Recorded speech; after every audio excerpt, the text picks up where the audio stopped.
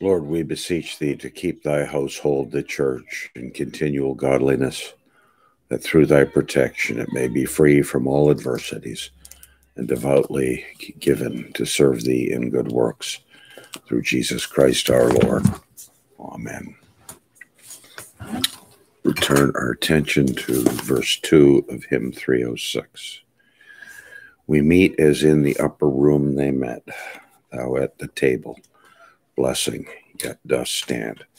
This is my body, so thou givest yet. Faith still receives the cup.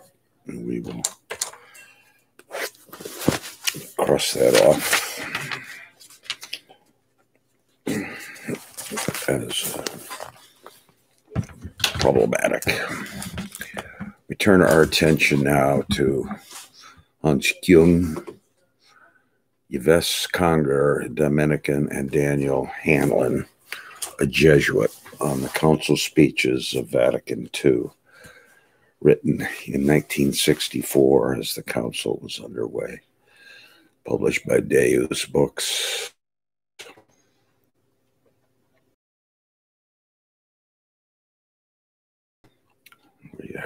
most recent book we, we're processing is a one written in 2013 Can We Save the Catholic Church?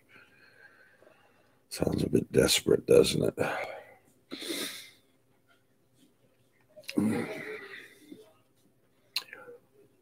wonder if Ratzinger's going to appear in this or JP2.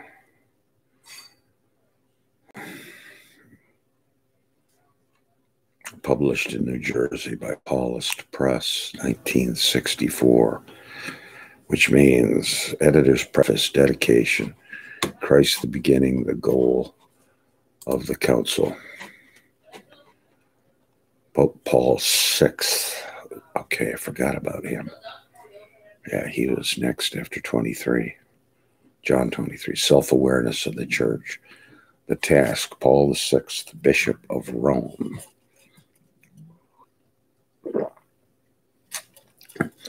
The charismatic dimension of the church. Cardinal Leon Swains, Archbishop of Mechelen, Brussels.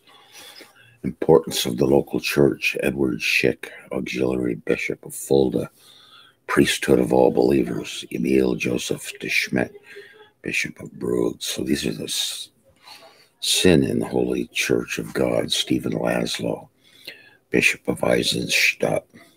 Eastern and Western tradition in one church. Elias Zogby, Greek Melkite patriarchal vicar in Egypt. Collegiality in the New Testament, Paul Rausch, Bishop of Innsbruck. Collegiality in the early church tradition, Paul Gouyon, coadjutor Archbishop of Rennes. Significance of consecration, Michael Duma, Maronite Bishop of Sarba. Papal infallibility in the church, Joseph Descuffi, Archbishop of Smyrna, 11th servant of the servants of God, Maximus, Patriarch of Antioch. Part two, renewal of the church, the task, Popes Paul VI, Bishop of Rome. Why is he, uh, when did 23 die and when did Paul VI He's being called Pope Six in 1964. I got to get my time right. Responsible freedom of the layman, Ernest Primeau, Bishop of Manchester. The lay apostolate and principle of subsidiary, Joseph Höffner, Bishop of Münster. Holiness of all in the church, Cardinal Paul Emile Léger, Archbishop of Montreal. These look like three pages. Evangelical perfection, Gerhard Hugi, Bishop of Arras, pastoral need of permanent deacons, Ignatius Ziadi, Maronite Archbishop of Beirut, the theology of the diaconate, Cardinal Leon Suenz, Archbishop of Mechlin, Brussels, pastoral cooperation between bishop and priests, Dennis Hurley, Archbishop of Durban, the rights of bishops, Ignatius Ziadi, Maronite Archbishop Beirut. It's his second appearance. Bishops in Evangelical Simplicity. Cardinal Paul Léger, Archbishop of Montreal.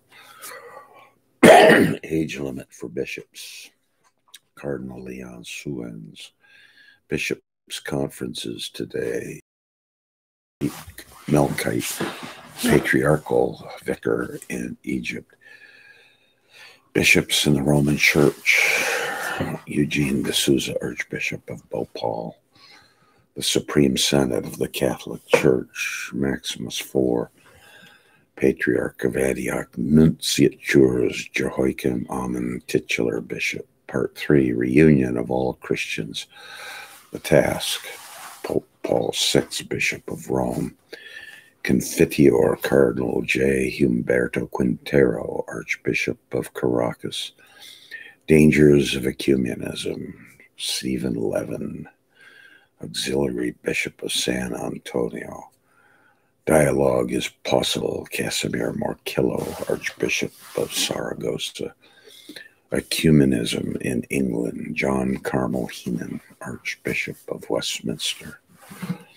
Clarifications. Cardinal Augustine Bea, President of the Secretariat of Christian Unity. The ecumenical mentality. Cardinal Raul Silva Henriquez, Archbishop of Santiago, no or oversimplification. Paul Guillen, coadjutor Archbishop of Rennes, the Church and Open Community. I'm just going to read the titles. Man's Disorder and God's Design, Archbishop of Winnipeg. Mystery of the whole the history of the Church, a voice from the East. Joseph Tawil, Greek Melkite patriarchal vicar for the Eparchy of Damascus. We must all be converted, serving the poor together. No reunion without theology. Emile Blanquet, rector of the Institut Catholique. Intellectual humility, no fear of the truth, freedom and diversity. Mixed marriages. Part four dialogue with the world, the task, religious liberty, Catholics and Jews, no racial discrimination the responsible layman in the world, the church, non Christian religions, united witness of all Christians, the missionary task, not domination, but service.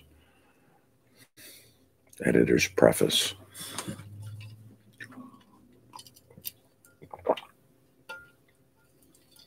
The Second Vatican Council, a great symbol of hope for the Catholic Church, for Christianity and the and the world.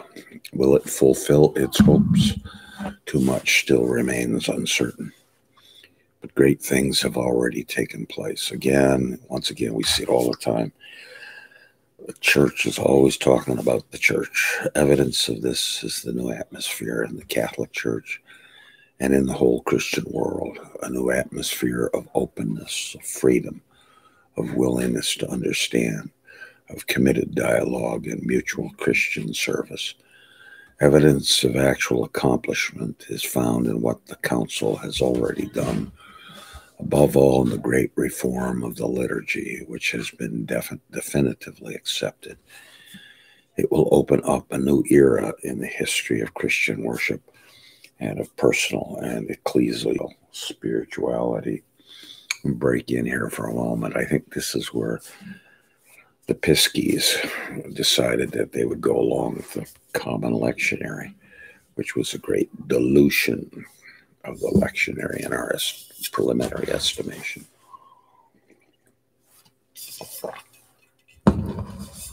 Further evidence of the achievement are the important speeches given at the council, which solidify the gains already made, challenge the contemporary church to action, to tell of what lies ahead.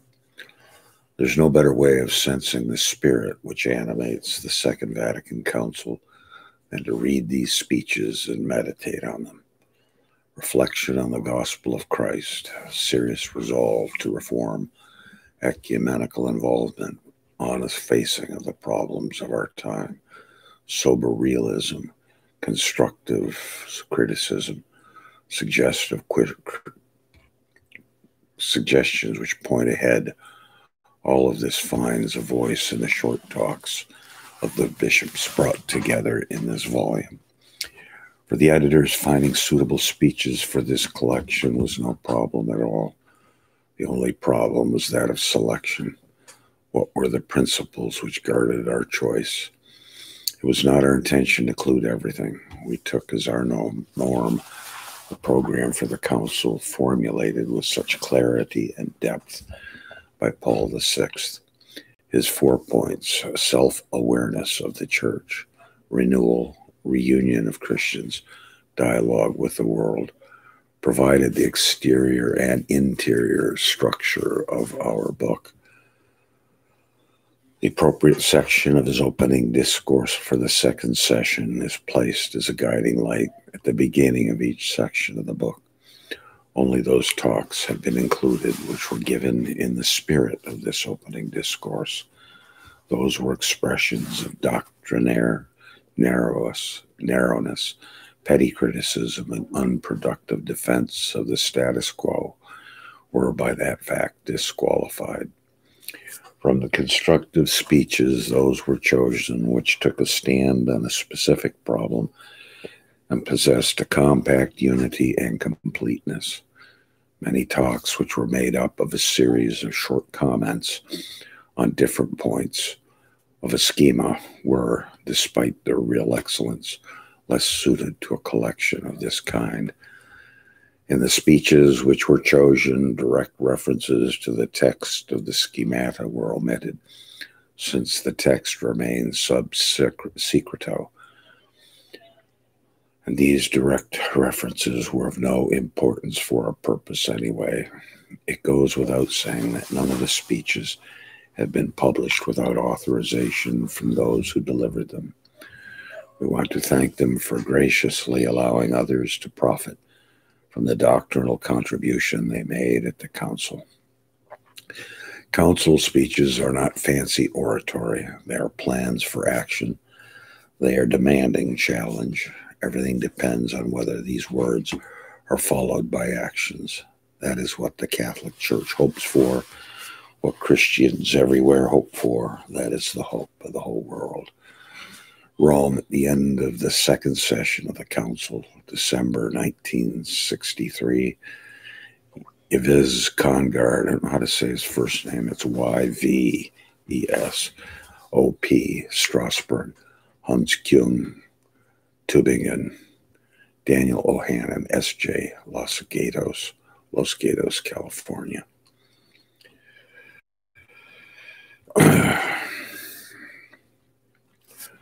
Pope Pius VI, dedicated to Pope John, who gave his life for the council. We cannot recall this event without remembering our predecessor of happy and immortal memory, whom we greatly love, John 23. To all of him who saw him in this seat, his name brings back the memory of his lovable and priestly image. When he opened the first session of the Second Vatican Council last October 11th, he gave a speech which appeared to be prophetic for our century, not only for the church, but for the entire society of humankind. That speech still echoes in our memory and conscience while it directs the paths the council must take. It frees us from all doubt and weariness which we may encounter on this difficult journey. Our dear and venerated Pope John, may gratitude and praise be rendered to you. Surely, under a divine inspiration, you convoke this council to open new horizons for the church and to channel over the earth the new and yet untapped spring waters of Christ our Lord's doctrine and grace. You did not act from earthly motives nor from the force of circumstances, but you act as the one who understood the divine will, one who penetrated into the dark and tormented needs of our age you have resumed the uninterrupted course of the Vatican Council, First Vatican Council, with its thundering anathemas.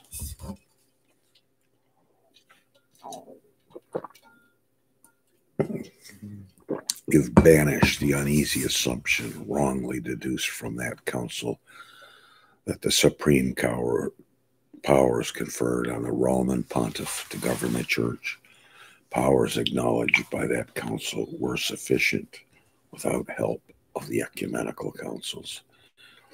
You summoned your brothers in the episcopate, the successors of the apostles, not only to continue the uninterrupted study and suspended legislation, but to feel united with the Pope in a single body, to be comforted and directed by him, that the sacred deposits of Christian doctrine be guarded and taught more effectively. But to the principal aim of the council, you added another, which is more urgent and at this time salutary the pastoral aim when you declared, nor is the primary purpose of our work to discuss one article or another of fundamental doctrine of the church, but rather how to expound the church teaching in a manner demanded by our times. You strengthen the doctrine, always themselves. always. To see if that changes, but it is not only truth to be investigated by reason, illumined by faith, but it is also the generative word of life and action. You strengthen our opinion that the authority of the church ought not be limited to the condemnation of errors. Rather, this authority should be extended to proclaim that positive and vital doctrine, which is the source of its fecundity the teaching office of the church, which is neither wholly theoretical nor wholly negative, must in the council manifest evermore the life giving power of the message of Christ, who said, The words that I have spoken to you are spirit and life. John 6 64. Hence, we shall ever keep in mind the norms which you, the first father of this council, have wisely laid down and which we may profitably repeat here.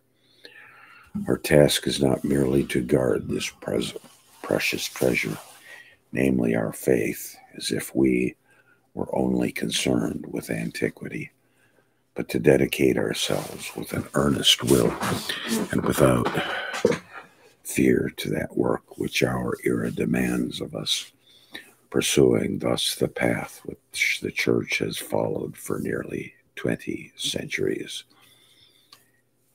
Uh, what happened to the Old Testament? Did that fly off from the fly off with the birds from the bell towers? Hence, that method of presenting the truth must be used, which is more in conformity with the magisterium, prevalently pastoral in character. We shall have due regard for the great question of the unity of one flock those who believe in Christ and wish to be members of the church which you, John, have called the paternal door, whose doors are open to all. The council which you have promoted and inaugurated will proceed faithfully along the path you pointed out, so that with God's help it may reach the goal you have so ardently desired and hoped for. Let us therefore go forward, brothers, Pope Paul 6 opening address of the second session. There's a pile of sycophancy. And I, I wonder, that's another collateral issue. Does the church government in hierarchies foster sycophancy? God alone knows. Pope Paul VI, Christ, the beginning, way, and goal of the council. From what point, dear brothers, do we set out if we turn our thoughts to the law of God Himself instead of directing our attention to the practical considerations just mentioned? What is the road we should follow? And what is the goal toward which our journey leads? The journey is made within the framework of human history, bearing all the marks of time and is conditioned by all the limitations of our present life. Yet at every moment we must be guided by the ultimate and decisive goal which we know awaits us at the journey's end. To these three questions, simple yet altogether essential, we know well that there is only one answer An answer which should resound, claim to the world around us. The answer is Christ. Christ from whom we begin. Christ who is both the road we travel and our guard on the way, guide on the way. Christ our hope and our final end. Well, may this council be fully aware of this relationship between ourselves and Jesus Christ.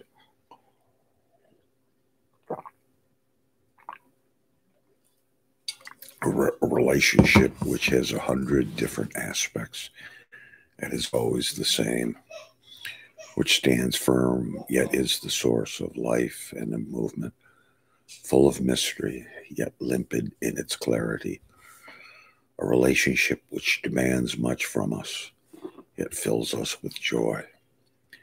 May the Council be deeply conscious of this relationship between the holy and living church, which is really our own selves, and Christ from whom we come, by whom we live, and toward whom we go. Let there be no other guiding light for this gathering but Christ the light of the world. Let the interest of our minds be turned to no other truth but the words of the Lord, our one Master. Let us be guided by no other desire but to be unconditionally loyal to Him. I wonder what, uh, when did Rudy Bultmann die? He's not here, but I wonder what he would say to these things or what the Schleiermachians would say, or von Harnack, or the whole raft of those boys. Ernst Käsemann. Let the only trust which sustains us come from those words of his which shore up our pitiful weakness. And behold, I am with you forever, even to the end of the world. Would that we could at this moment raise to our Lord Jesus Christ a voice worthy of him as the sacred liturgy says, You alone, O Christ, we know. We seek you with a pure and upright intention and ask you in our joys and sorrows to regard the feelings of our heart. Hymn of Lauds for Wednesday.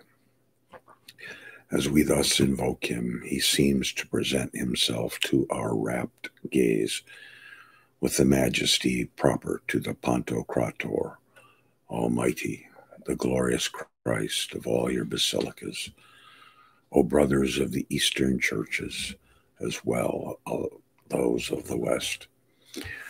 Well, that's a reversal of 1054 to right there.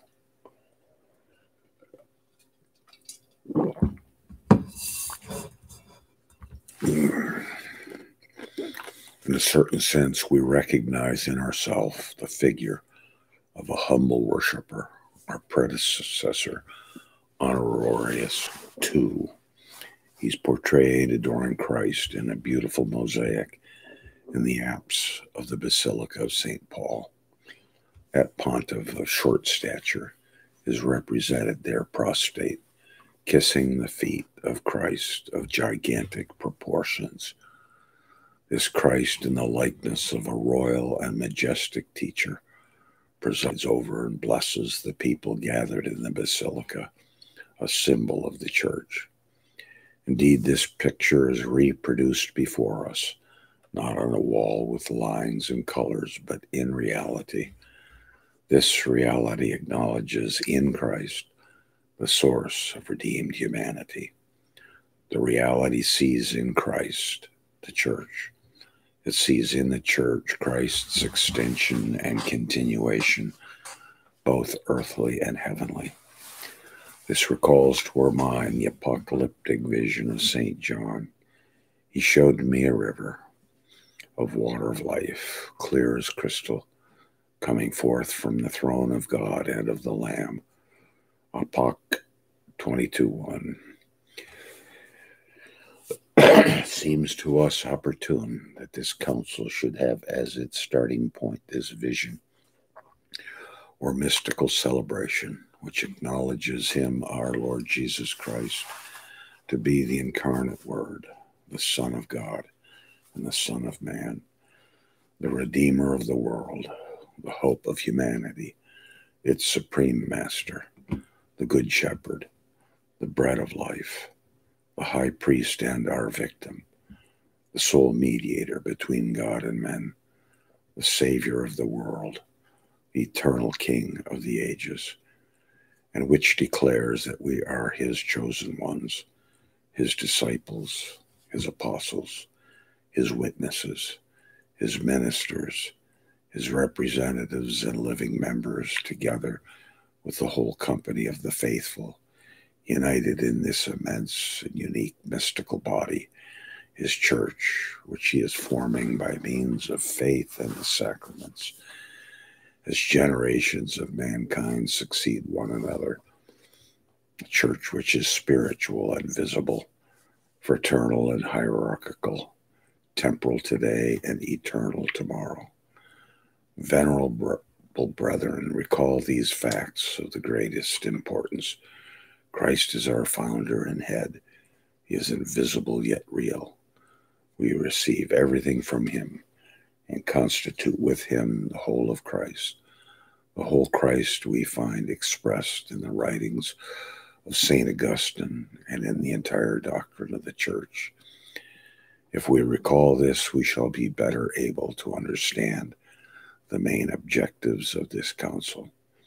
For reasons of brevity and better understanding, we enumerate here those four objectives and four points the self awareness of the church, its renewal, the bringing together of all Christians in unity, a dialogue of the church with the contemporary world. And there ends that part one self awareness of Christ, of the church, once again.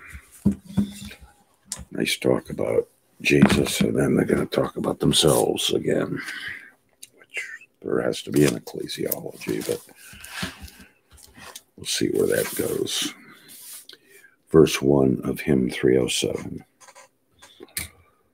Lord enthroned in heavenly splendor, first begotten from the dead, thou alone, our strong defender, liftest up thy people's head. Hallelujah, hallelujah, hallelujah. Jesus, true and living bread. Jesus, true and living bread. Let us pray. Blessing and honor and glory and power be unto him that sitteth upon the throne and unto the Lamb forever. Amen. Godspeed.